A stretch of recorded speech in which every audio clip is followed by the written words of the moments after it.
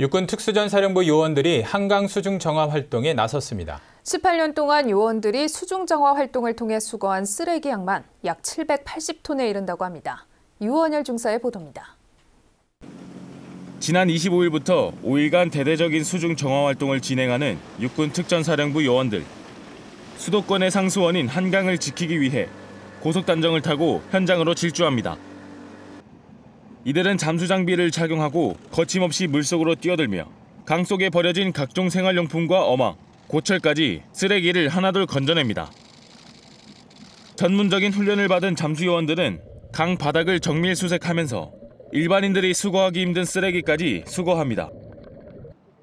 잠수 요원들이 무게가 가벼운 쓰레기를 직접 끌어올리고 무거운 것들은 부패를 설치해 위치를 표시한 뒤 바지선으로 인양합니다.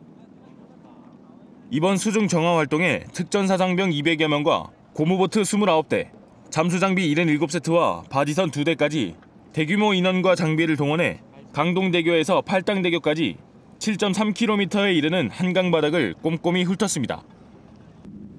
육군 특전사 요원들의 수중 정화 활동은 지난 2000년에 처음 시작돼 올해로 18년째 계속되고 있습니다.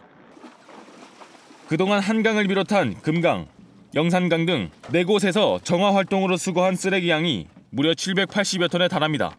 검은별의 특전사 모든 장병들은 국가 안보의 최일선에서 부여된 임무를 완수함은 물론 한강의 수질 관리와 국민의 건강을 지키기 위하여 최선을 다하겠습니다. 육군 특전사 요원들은 수중에서 한치 앞도 보이지 않는 혼탁한 악조건에도 불구하고 숙련된 기술로 버려진 폐기물들을 찾으며 국민들을 위해 노력하고 있습니다. 국방뉴스 유원열입니다.